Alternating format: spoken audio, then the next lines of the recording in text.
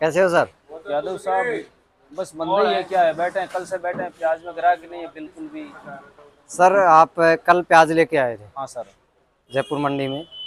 तो अभी तक बिका नहीं है? बिल्कुल नहीं बिका कहाँ बिका प्याज? कितना लेके आए थे? हम 200 कट्टे लेके आए सर। 200 कट्टों में कितना बिका है दो कट्टे बेचे हैं सर। मात्र दो कट्टे बेचे दो दिन के अंदर। अच्छा हाल है मंडी का। और हमारा तो ग्राहकी सर मंडी में है ही नहीं बिल्कुल भी। और यहाँ की बात नहीं सर हर जगह यही हाल है। नी के बराबर है। क्योंकि आज मैं दिल्ली के वीडियो भी देख रहा था तो वहाँ पे भी ग्राहकी ऐसी है हर जगह ग्राहकी ऐसी है। किसान की हालत बहुत नाजुक है और प्याज भी बहुत पड़ा है और पहले तो सरकार ने ये एक्शन बहुत सबसे पहले तो ये सरकार ने जो 19 तारीख शाम को नोटिफिकेशन जारी किया और सुबह ये कानून सरकार ने लागू कर दिया। और किसान की योजनाओं पे सरकार कोई भी घोषणा करती है तो दो दो साल तक वो नियम लागू नहीं होता। है ये सरकार की सबसे बड़ी भूल है। और ये दिसंबर तक लगाया है इन्होंने? इकतीस दिसंबर तक। इकतीस दिसंबर 31 दिसंबर। जब तक हमारे पास तो प्याज बचेगा नहीं और हम हम तो मंदी में मारे जाएगा ना। बिल्कुल। सर देखो वो कोई फ़र्क नहीं पड़ता। माल अभी भी जा रहा है और जहाँ साढ़े तीन सौ गाड़ियाँ जाती थी वहाँ सौ सवा सौ डेढ़ सौ के आसपास जा रही वो है। सर 50 परसेंट से भी कम हो गया। बिल्कुल बिल्कुल। अगर मान लो पूरा का पूरा माल जाता तो मेरे हिसाब से बैलेंस नहीं रहता बहुत ही नहीं रहता सर। और यहाँ ग्राहकी अच्छी ग्राहकी भी रहती और किसान पे पे मार भी नहीं पड़ती। बिल्कुल। अब सभी मंडियाँ हैं वो भरपूर मात्रा में भरी हुई है। भरपूर भरी हुई है। यानी बैलेंस पहले रह जाता है अगले दिन फिर इतना ही माल आ जाता है। सही है सही है सर। तो ये कंडीशन हो रही है तो यानी किसानों की हालत पहले तो मैं एक बात सरकार से बोलना चाहता हूँ आपके इस चैनल के माध्यम से कि आम आदमी 10 से 15 किलो प्याज खाते हैं सर महीने दो महीने के अंदर। बिल्कुल ठीक है सर? तो उस पे वज़न कितना पड़ता था? 200 से 400 रुपए। और वो कुछ फ़र्क नहीं पड़ता उसके 400 500 रुपए से। और। किसान लाखों रुपए से तले दब गए सर। वो ऊपर नहीं उठेगा। सही कह रहे हो सर। सबसे बड़ी तो ये भूल कर दी सरकार ने। किसान की सोची तक नहीं तो सोचना चाहिए था किसी से विश्लेषण करना चाहिए था विपक्ष को भी पूछना चाहिए था गहरे गहरे में सोचना चाहिए था। रिटेलर के आधार पे सरकार ने ये एक्शन ले लिया। रिटेलर तो आपका अपना मजदूरी मुनाफा कमाता है और व्यापारी और किसान मारा गया इसमें। रिटेलर भी और जो नाफेड वाले जो अधिकारी हैं उन्होंने भी गलत रिपोर्ट पेश की बता रहे हैं। तो इस वजह से थोड़ा सा दिक्कत आई है नापेड और एनसीआर दिल्ली में तो दो ही पार्टी का माल आ रहा है सरकार बिल्कुल बिल्कुल। और दिल्ली में भी बाज़ार दब रहा है। आजादपुर मंडी बहुत डाउन है। बिल्कुल सर। वहाँ भी आज का जो भाव था वो ऊपर में नौ सौ रुपये मन के हिसाब से था। बता रहा है सर यही बता रहा है यही बता सात सौ रुपये से नौ सौ रुपये के बीच में बिक रहा है। सात सौ से नौ सौ बता रहा है सर उसमें ग्राहकी नहीं हुआ ग्राहकी नहीं है। ग्राहकी नहीं है सर। सेम पोजिशन वो ये कह रहे थे माल बिकता नहीं है बेचना पड़ता है। बेचना पड़ता है मजबूरी के साथ बेचना पड़ता है ये कह रहे थे। बिल्कुल। मैं यहाँ दो दिन से बैठा हूँ। दो कट्टा मेरा बिका है। दो दिन मेरा खुद का खर्चा है दो दिन का दो कट्टा। बिल्कुल, अब मैं गाड़ी वाले को क्या दूँगा? बिल्कुल नहीं सही कह रहे जो खर्चा लगा पीछे हमारे को खर्चा लगा है उसको क्या देंगे हम? सरकार को सस्ता करना था तो पेट्रोल डीजल गैस और अन्य चीज़ें मार्केट के अंदर बहुत सारी महँगाई चल रही है। उस पर सरकार को ध्यान देना चाहिए था। बिल्कुल बिल्कुल सर। सरकार ने उसमें तो कुछ ध्यान नहीं दिया। आ, सर सही बात है। बाकी आप जैसे आ, प्याज की ही बात करें तो कितना प्याज लगाया था आपने? प्याज सर हम लगाए सात आठ बीघो। सात आठ बीघा। और अब की बार क्या उम्मीद है सर? उम्मीद क्या? उम्मीद खत्म है सर बुआई भी नहीं करेंगे प्याज की बुआई भी नहीं करेंगे सर हम तो। परेशान हो गए तीन साल में इतना परेशान है प्याज में तो हम हालत खराब है। हमारे पूरे एरिया की। हम पूरे एरिया की बात कर रहे हैं। भोपालगढ़ से आते हैं सर। भोपालगढ़ मतानिया सोयला पीपाल सिटी यहाँ प्याज की बुआई भी होती है और छोटे बड़े व्यापारी भी है। किसी से ब्याज के हिसाब से पैसे लेके किसी ने छोटा मोटा व्यापार कर लिया वो भी बेचारा तले जब दब जाएगा और किसान भी दब जाएगा सर। बिल्कुल बिल्कुल सर। तो यानी जो आपने सात बीघे में प्याज लगाया था तो कुछ फ़ायदा देख रहे हो या नुकसान ज़्यादा है? नुकसान है फ़ायदा तो है ही नहीं फ़ायदा तो है ही नहीं। फ़ायदा बीस रुपए का किलो का खर्चा है। बिल्कुल बिल्कुल सर। क्योंकि प्याज खराब भी होगा फिफ्टी परसेंट तो इसीलिए खर्चा ज़्यादा बढ़ गया। नहीं गर्मी वाले प्याज में इतना जैसे खर्चा जो आप बीस रुपए बता रहे हो नहीं आता है। हम तो गर्मी वाला भी लगा रहे हैं हम तो गर्मी वाला भी लगा रहे हैं। बिल्कुल बिल्कुल। ये अब की बार जो खराब हुआ है इसकी वजह से ज़्यादा खर्चा बढ़ा क्या है। है सर ये स्टॉक में रखते हैं ना धड़ा के अंदर भी रखते हैं और बारदान में अंदर अंदर भी रखते हैं। बिल्कुल, तो सर ये 50 परसेंट तो माल पहले भी खराब हो जाता है। बिल्कुल बिल्कुल वैसे ही खराब हो जाता है। वज़न घट जाता है। हाँ, वज़न कम हो जाता है इसका। और फिर इसकी छंटिंग वगैरह इसको डबे डबल बारदान लगाना पड़ता है। पहले बारदान में डाल देते हैं तो फिर इनको रीपैकिंग कराना पड़ता है उधर। अच्छा जी। तो सर जैसे महाराष्ट्र वाले किसान है वो जैसे जालियों में करते हैं तो उस तरीके से जैसे सेट बना के हमारे यहाँ सिस्टम नहीं है सर अच्छा क्या जी। अलग अलग एरिया का अलग अलग सिस्टम है। हमारे यहाँ ऐसा ही सिस्टम हम बारदान के अंदर ही रखते हैं प्याज बिल्कुल ज़्यादातर। बिल्कुल और यहाँ जो थावला है पुष्कर है पिसागढ़ है अजमेर के आजू बाजू यहाँ लोग कराए बनाते हैं प्याज की कराई के अंदर डालते हैं। और सर ये भी नहीं है कि भाई जयपुर में सस्ता बिक रहा है दूसरी मंडियों की तरफ़ रुक कर लें तो वहाँ पे भी यही हाल है। सर चारों तरफ- छोटी बड़ी कहीं भी मंड, वो कोई भी मंडी में चले जाओ हालत सभी जगह यही है। माल का उठाव नहीं है बिल्कुल भी ग्राहक बिल्कुल बिल्कुल सर। हवा हो गई साहब मंदी की बस। सब बिल्कुल बिल्कुल। अब ये जैसे चौबीस पच्चीस रुपए बोल रहे हैं पर चौबीस पच्चीस बिक माल नहीं रहा। प्याज बिक रहा है साहब चौदह रुपए से बीस रुपए ज़्यादा। हाँ बिल्कुल सबसे ज़्यादा यही पोजीशन है। बिल्कुल बिल्कुल। और उसमें भी ग्राहकी नहीं है। उसमें भी ग्राहकी नहीं है और बाईस तेईस तो ठीक है सर छुटपुट एक दो लाट जब बिक जाता बीस तीस कटा उसका भाव नहीं होता है। भाव नहीं है। हमारे पास कल यहाँ एक लाट था वो चौदह रुपए में बिका है। आज अभी अभी एक साढ़े सोलह रुपए में बिका है लाट साहब। बढ़िया माल था वो भी। बिल्कुल ग्राहक ही नहीं है तो करे क्या? बेचने वाले की मजबूरी है ये वाला आपका ये ये सर बीस गोपालगढ़ सर बीस रुपए मांग रहे हैं इसका। अच्छा जी अच्छा तो सर बरसात वाला भी लगाओगे बरसात वाला नहीं लगाएँगे सर। बरसात वाला नहीं लगाओगे? तो सर मैं तो देखो एक सलाह देता हूँ क्योंकि जो गवर्नमेंट है वो प्याज किसानों की तरफ़ विशेष ध्यान तो देगी नहीं।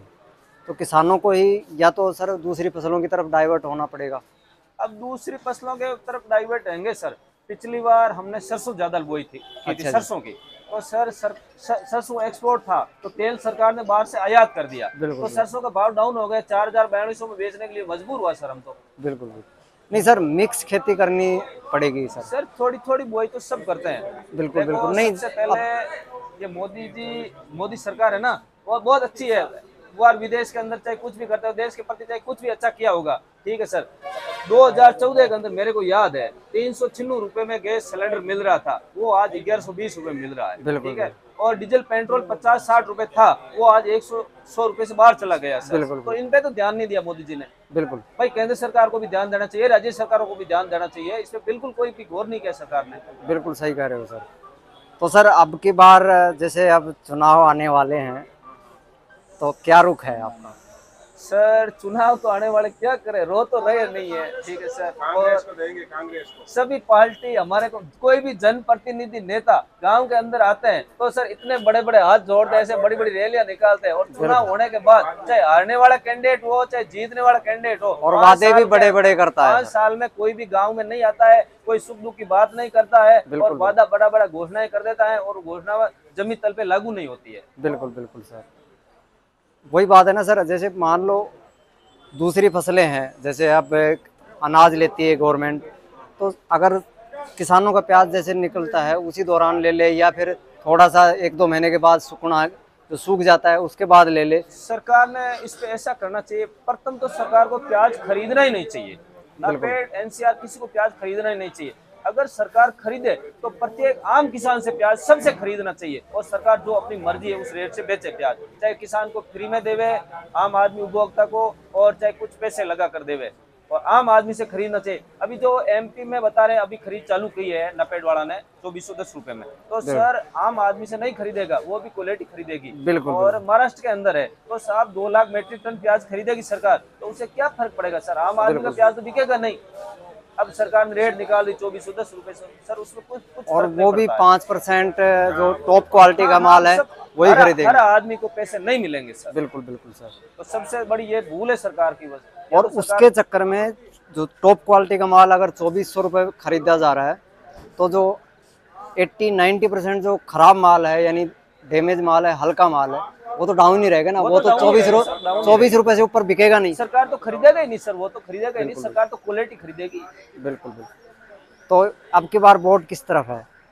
अब के सर किस तरफ़ बताऊँ मैं आपको? मैं तो कुछ भी नहीं कह सकता हूँ। सरकार के खिलाफ हम तो इसका विरोध करेंगे सरकार। सभी सरकार का विरोध करेंगे कोई भी कर जनप्रतिनिधि गाँव के अंदर आएगा उनको बस हम तो विरोध करेंगे बस। अगर गाँव की एकता ऐसे हो जाए ना सर अगर कोई भी नेता मैं तो देखो किसी भी पार्टी का नहीं हूँ मैं ये कहता हूँ अगर गाँव में आकर कोई बोलता है कि भाई हम ये करेंगे वो करेंगे गवर्नमेंट को भी कानून बना बना देना चाहिए कि भाई जो लिखित में आप वादे करके आ रहे हो कंप्लीट होने चाहिए। हमारे गाँव के अंदर अगर जनप्रतिनिधि भी आता है तो हम उनको खरी खोटी सुनाते हैं तो अच्छा जी। सुन के चला जाता है। शर्म के मारे नीचे मुँह करके चले जाता दूसरे गाँव में जाके फिर रैली करने लग जाता। उसकी भी शर्म ना कुछ है शर्म नहीं उसको। और सर देखो वोट तो आप नहीं दोगे तो भाई साहब दे देंगे। भाई साहब नहीं देंगे तो ये दे देंगे। सरकार तो बननी है। बिल्कुल। सरकार तो अपना काम करेगी और सरकार ने सोचना चाहिए था। किसानों के प्रति गहराई में जाके सोचना चाहिए था। सबसे बड़ी बात यही है बस। बिल्कुल बिल्कुल सोचा नहीं सरकार ने। तो क्या कहना चाहोगे लास्ट में सरकार को कुछ? अगर कोई वीडियो के माध्यम से सु- हम लोग सरकार को क्या कहना चाहते हैं? सरकार से यही अनुरोध है किसान के प्रति ध्यान दे। बिल्कुल। और सत्तर परसेंट आबादी किसान खेतों पर निर्भर है। और अगर किसान कुछ नहीं करेगा तो शहर के अंदर लोग खाएगा क्या? आ, सर एक ऐसा देश है मेरा दिमाग में नहीं आ रहा कौन सा देश है जहाँ पर आप प्याज अपने हिसाब से नहीं लगा सकते यानी प्याज या कोई सी भी फ़सल।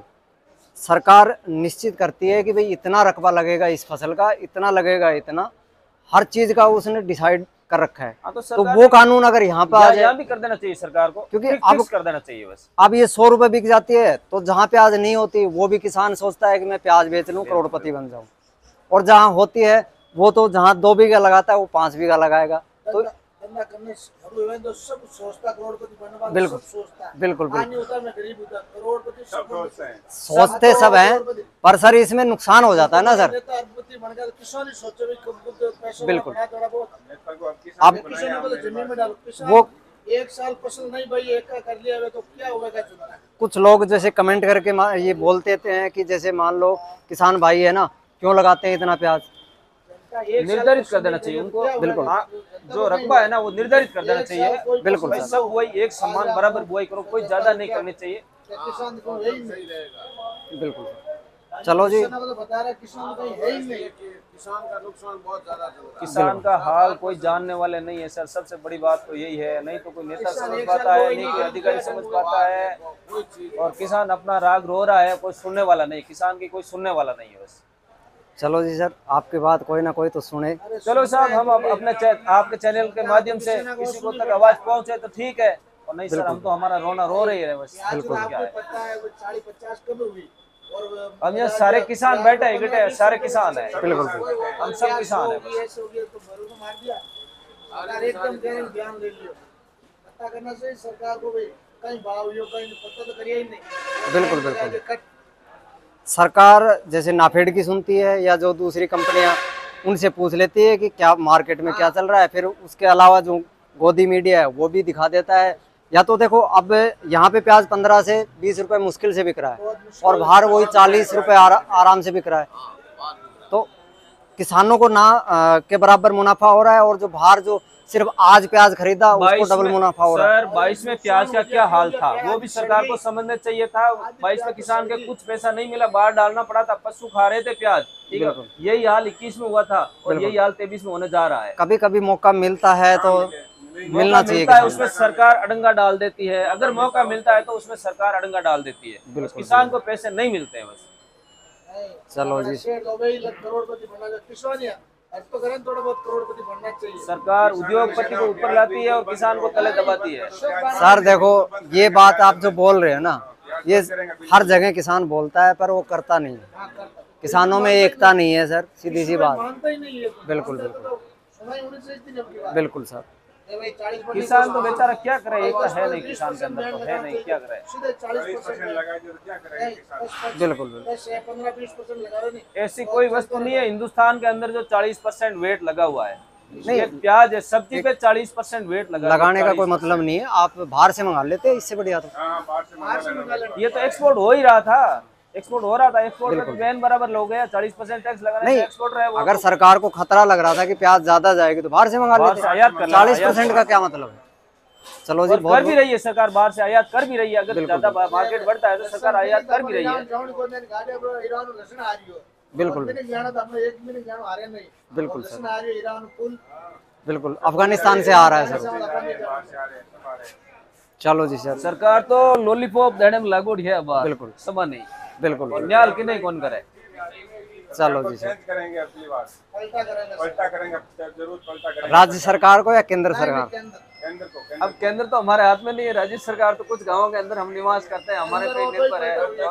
विधानसभा क्षेत्र तो छोटा होता है लोकसभा क्षेत्र बड़ा होता है उस उस पे तो हम कुछ बता नहीं सकते हैं किसान बहुत है एमपी है अभी हम एक आपके चैनल के माध्यम से कहीं वीडियो देख रहा था तो अमित शाह की वहाँ रैली थी। वो जो क्या परिवर्तन यात्रा निकाल रहे थे तो उस पर लोगों ने पत्र चलाया। तो वो बहुत परेशानी से पत्र चलाए तो लोगों ने परेशान हो गए और ऐसे थोड़े सुख में पत्र चला रहे हैं। लोग बहुत हालत कस्ता उसकी।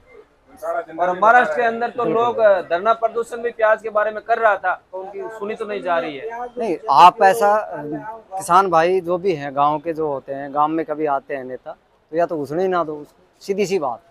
भाई या तो मांगे पूरी करो। कोई सुनने वाले नहीं है कोई किसान बिल्कुल। सुनने वाले नहीं है। सही कह रहे हो सर। बिल्कुल और जो कोई कोई अगर किसी की मांग है वो उठाता है तो उसको दबा दिया जाता है सुनता कौन है सुनता कौन है?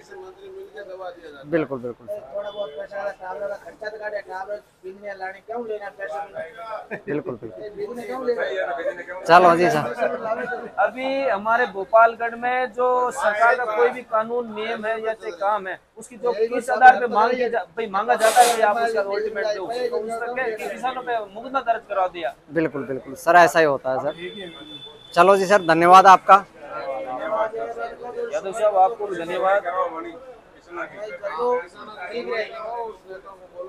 ज़्यादा से ज़्यादा ये आवाज़ पहुंचनी चाहिए सब बिल्कुल सर।